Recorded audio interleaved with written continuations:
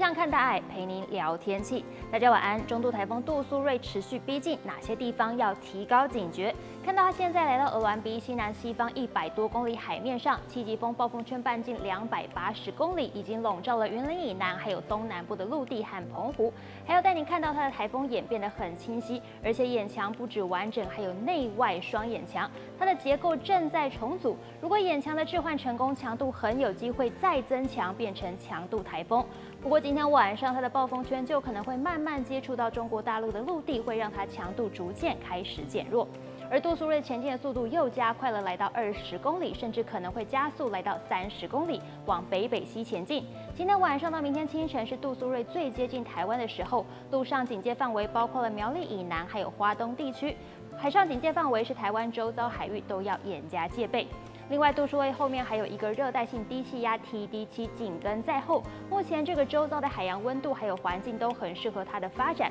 很可能会在明天白天形成今年第六号台风卡努。相较于杜苏芮，各国对于准卡努的预测路径比较一致，会跟着太平洋高压的导引气流从台湾北方海面通过。从雷达回波图可以看到，杜苏芮带来的水汽在迎风面的东部还有南部持续带来大雨。在屏东太武乡西大武山，累积雨量突破了一千毫米；花莲富里超过了八百毫米，都已经来到致灾性等级。而且这个雨还会继续下，在南部的雨也随着台风接近快速的增大。东南部还有屏东的山区都出现了时雨量超过一百毫米的短延时强降雨。看到今天晚上到明天早上，在南部的降雨会越晚越多，而东部的降雨还是会持续。到了明天白天，随着台风逐渐远离，雨也不会直接停，只是会逐渐变得比较缓和、零星。整理台风影响时间。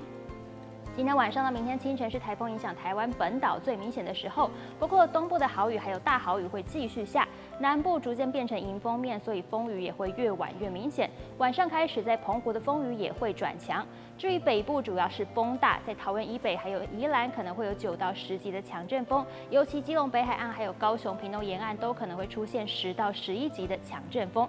中部影响相对比较小，不过今天晚上开始，随着台风逐渐接近，可能也会有间歇性的风雨出现。到了明天清晨，台风会接近金门，所以明天在金门还有澎湖都可能会有十二到十四级的强阵风。这么强的风会在海面上掀起惊涛骇浪，还可能会损毁建筑物，一定要特别小心。到了明天上午，台风会逐渐远离台湾，本岛的风雨会逐渐缓和，但是外岛的澎湖、金门风雨还是会很明显，提醒大家都要做好防台准备。接下来提供给您明天各地的气象数据。